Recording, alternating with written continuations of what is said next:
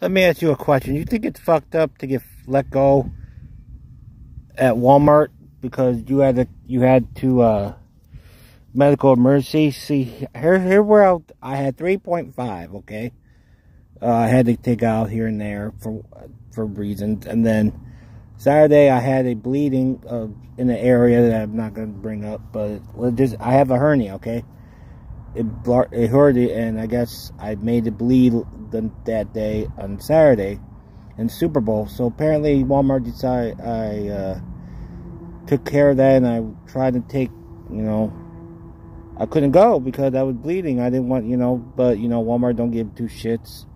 Do you think they have a right to? Well, they have a right to let people go due to occurrences, but I don't think occurrences, I think they should get rid of it. I honestly think Walmart should get rid of occurrences and let people take off if they need to.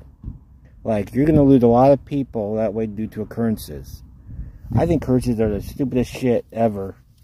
What's your take on occurrences? I don't know. I don't know where to work now. Anyways, uh, happy Valentine's Day to everybody. Take care of each other. Love each other. Love you all. And hopefully, um, things get better. Stay safe.